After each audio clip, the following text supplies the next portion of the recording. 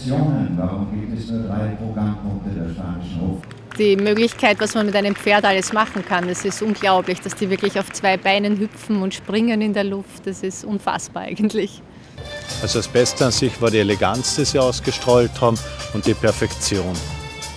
Die Arbeit an der Hand, weil das ist eigentlich genau. wirklich hohe Kunst, wirklich Pferde auch auszubilden.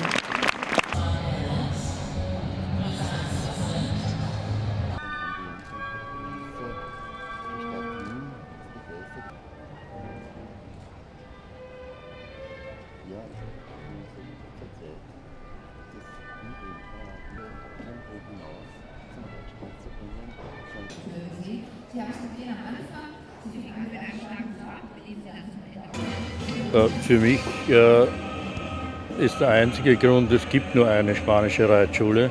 Es gibt nur äh, ein Institut, wo die klassische Reitkunst so noch gepflegt wird und das in Wien.